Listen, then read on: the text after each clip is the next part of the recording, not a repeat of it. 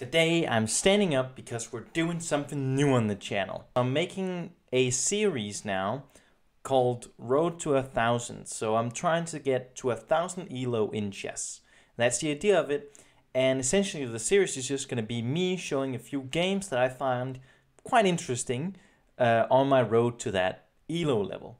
Now I'm making these videos um, as a substitute or as in a buffer in between my good quality videos because they take a lot of editing and or then let's just say they are better my other videos. Let's not call them high quality per se but they are better. Uh, i put more effort into them but they take way longer to make. And this is just for me i have a goal of trying to upload weekly. So doing this is just you know trying to accomplish that. So let's get into the game here because as you know, the most important thing in life is your chess elo. That is the only thing that matters in this world. I played this during my time where I got footage for uh, my London video, which I hope you've seen and uh, I hope you liked it. So naturally, I'm starting out with pawn to d4 and my opponent answers with e5. Here, I like to take, it's still a book move and technically, apparently it's called an Englund Gambit or something like now. So technically not a London, but I'm still thinking about the game as I want to achieve the London structure or close to it. So I he attacks with the queen. I like to take with this pawn because it's very easy to defend while still developing in the idea of the London. So now I move in with my bishop and here it's way better as the computer is showing us. It's way better to go out with your knight. Why? As shown by our opponent here, checking, uh, he's also threatening my bishop. So now the only way I can save it is by moving back. I spent 4 seconds on this move, and I go pawn to c3. Not a good move, because my bishop is hanging. But I play this because usually in the London, when many players will do this against you, where they go bishop b4, not queen. So that is usually answered with uh, pawn c3, and that is just what I do here. So I lose a bishop, now I'm down a bishop, but uh, now I get the knight out, which I should have got out uh, instead of the bishop. Now he wants to even out the game, very honorable. He sacrifices his knight. Uh, no, that was a blunder. We are at a very low level of chess here. He retakes with the queen. I move forward in traditional London structure fashion, uh, so I can get my light square bishop out in the middle. Now, here, what I should do is, I see his queen attacking b2, which is very, very traditional. A lot of players do this, and the best way to meet this is going queen out to b3, because then you can take with a pawn. Let's just show here. If he plays this, and then takes, then you have the pawn, and it's now open on the a file with your rook. Now, I take a little bit of a different approach on this. Uh, I play it I defended instead by playing uh, queen to c2. Uh, an alright move. Uh, apparently it's better to go uh, d2. Not sure why you block in your, your queen, but I'm not, I don't know. Um, he then goes bishop out, and now I decide to offer up the queen trade because I suddenly remember, oh, you can do this. So he takes, and I take. And now my rook is out. He absolutely blunders a piece here, which I do not see. The bishop could have taken here. But now I was too excited with my rook file being open and I wanted to capitalize, so I move up. With my rook to a5. Not necessary at all.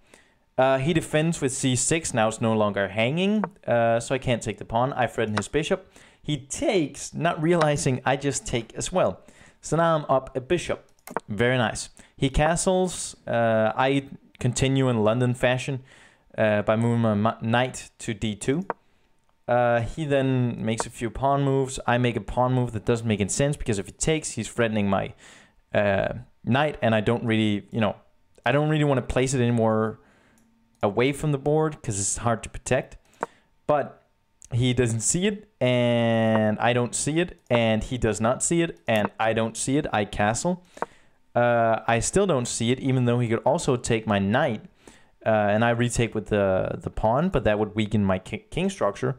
So he should take here. Uh, now I finally take that pawn. Finally. And as you're about to see, we are almost approaching it.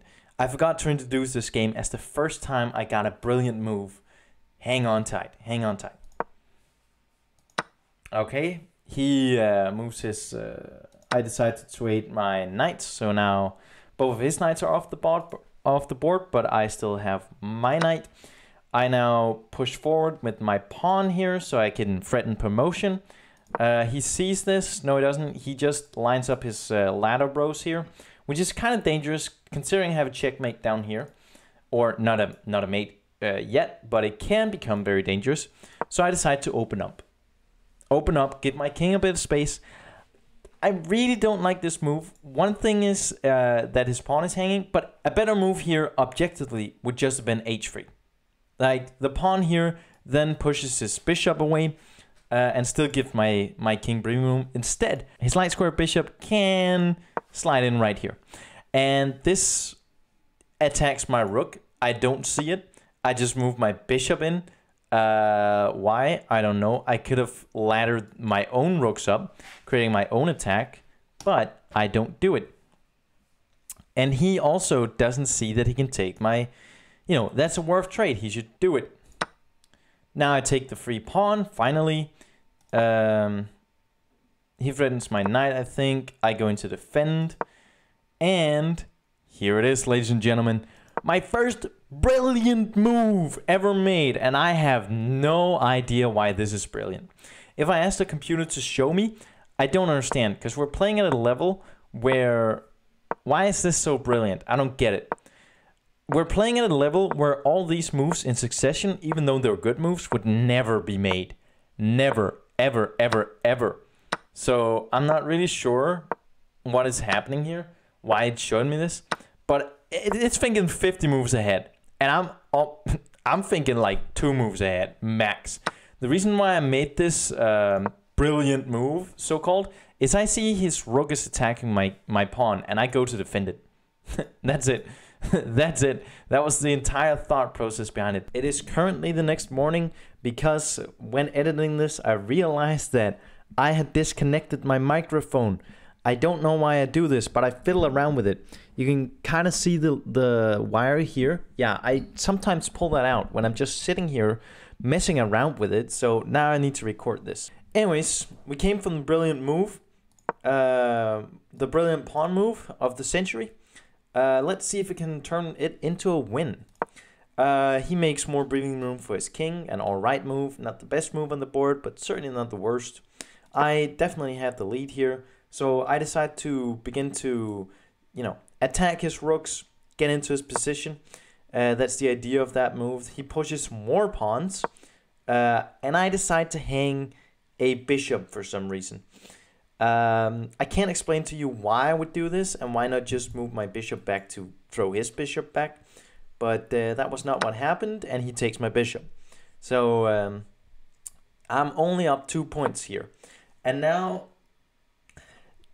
listen, okay, this move isn't great. This is the, the beginning, beginning of the end of this game. Spoiler alert. But the reason why I made this move was so that I could take with the knight um, and then threaten his his rook. But as you come to see, he takes, of course, as I knew he would. I retake with the knight, but as you come to see, I leave my one brilliant pawn. I just ruined the prophecy of the pawn. It was supposed to become a queen. Oh god. This is the saddest way that I've ever lost a queen or a potential queen that was that close to promoting. Anyways, the game must go on. I line up my rook and my uh, my knight here. He begins to continue pushing pawns. This is, um, you know, this is a miss because he could have uh, begun to attack my uh, my back rank and, and really take control of the game. So, and that's just a hanging pawn, so I take it. Uh, he defends his king. Uh, I should trade here, and the reason why I should trade here is otherwise my knight is hanging. He doesn't see this and just plays his, you know, try to force this trade. I'm like, no, no, no, no, no. I don't want to trade for some reason because I'm thinking that these these uh, rooks are lined up now, uh, so they're much more powerful. But apparently, it is best to take. I didn't see it. He then forces a trade. Uh, I take and still my knight is hanging. He still doesn't see it, but he makes a better move, which is moving his rook down to the back rank of my king, attacking him. And now my decision to not kick this bishop really, really bites me in the ass. Because the only thing I can do here is rook back to my king. It, it's taken. And lose the game. Raindrops are falling on my head. And just like the guy whose feet are too big for his bed, nothing seems to fit. Those raindrops are falling on my head, they keep falling.